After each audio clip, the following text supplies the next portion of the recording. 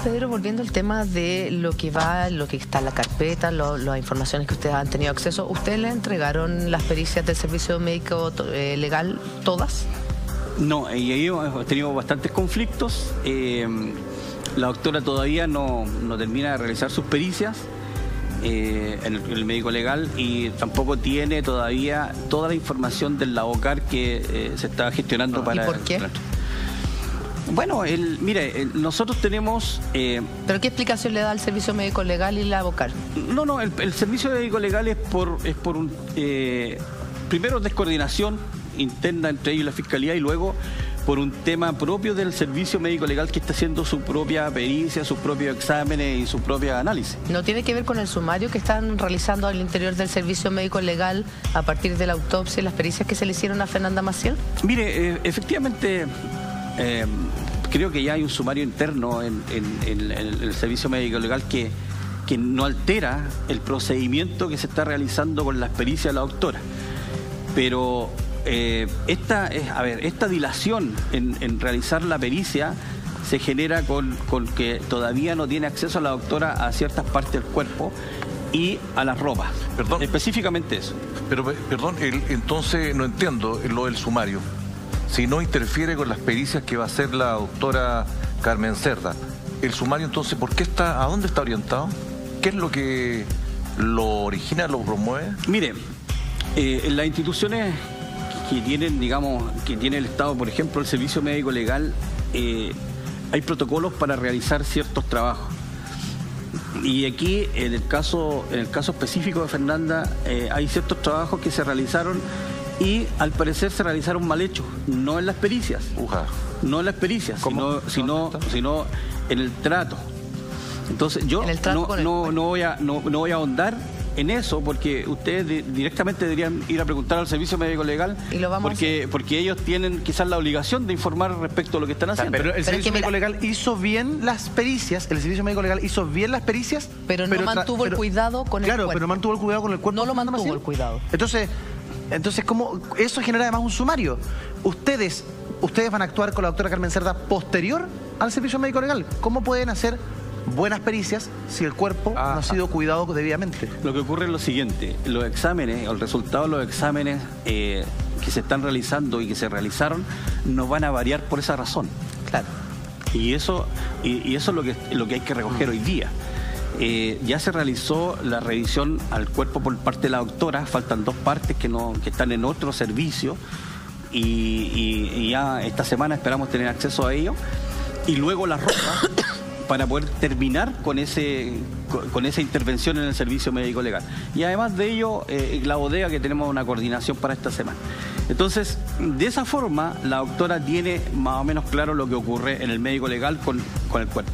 Nos falta ahora, para que ella termine su informe, lo que hizo el Labocar que estuvo en el sitio del suceso, la filmación del sitio del suceso, cómo se trabajó, quiénes trabajaron, qué encontraron, eh, cómo está el cuerpo, cuál era la posición, eh, por qué estaba eh, más complicado en un lado que el otro. Bueno, en fin, todas esas dudas van a ser generadas cuando se revise esos videos y esas fotos. Eso Pedro Cuando tiene la tú boca. hablas, pero- pero- eh, Pedro, cuando tú hablas que a la doctora Cerda le faltan dos partes para eh, periciar, son dos partes del cuerpo de Fernanda.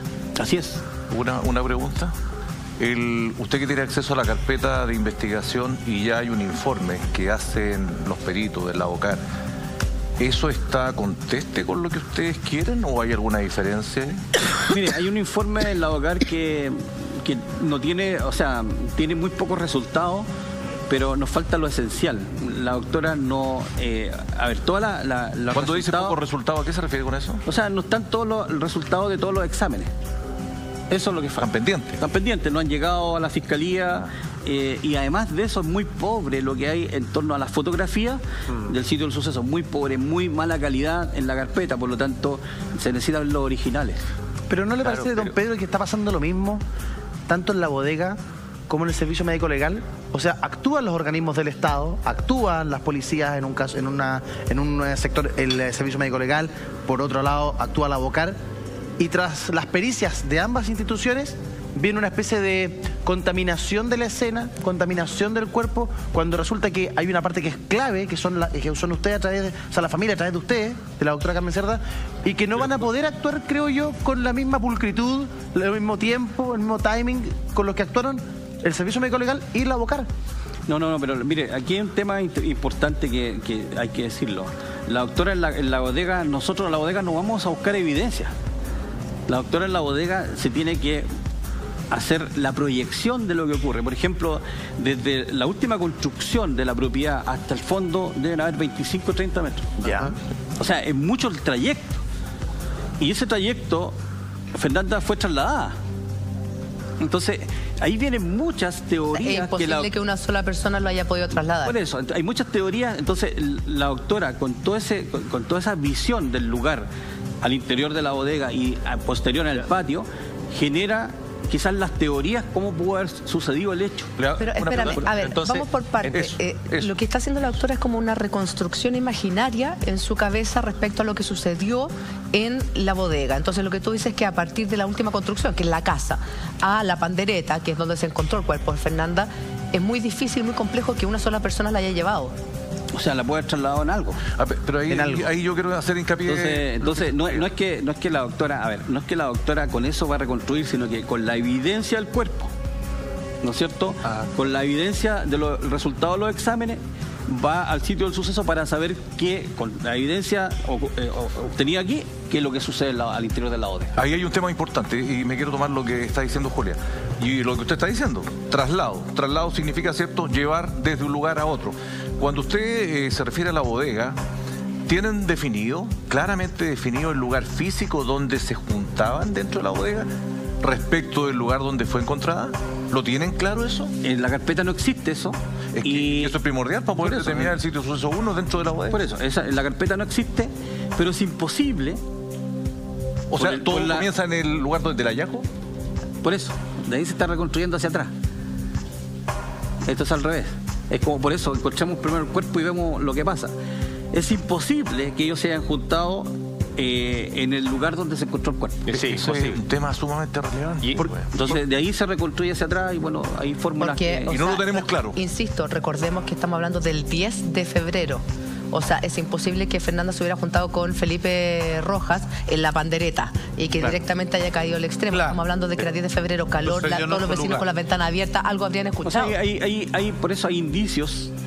Por ejemplo, estaba envuelto el cuerpo con telas que estaban al interior de, Sí, de que- las piezas. es que va- Por eso, entonces, todo eso, todo eso es lo que tiene que realizar la... el sitio del suceso o que el crimen se cometió al interior de la casa. Eh, ¿Sabes por qué es relevante, Jurita? Porque cuando se logra reconstituir hacia atrás el lugar físico, cuando yo hablo del lugar físico es donde nos juntamos, supuestamente con Felipe, donde nos sentamos, donde conversamos, donde fumamos, eso es sumamente relevante. ¿Por qué, general? Porque ahí hay, hay evidencia. Si yo sé que está, y no hemos periciado ese lugar donde comenzó, sino que nos concentramos solamente en el lugar del hallazgo, en la fosa, y, y- y dejamos como el sitio, el suceso, lo principal, Sí. estamos equivocados. Es que eh, no está en la carpeta. Entonces, ¿se- ¿sirve realmente hacer esta reconstitución en reversa? ¿Se puede? En la ¿Sabes por qué? ¿Sabes por qué es importante o no? Porque yo puedo encontrar en ese lugar que está dentro de ese espacio físico, puedo encontrar la colilla de cigarro, encuentro ADN, encuentro material biológico, encuentro un cabello, encuentro una serie de evidencias que me posesiona Ahora, a las personas en ese lugar. sí.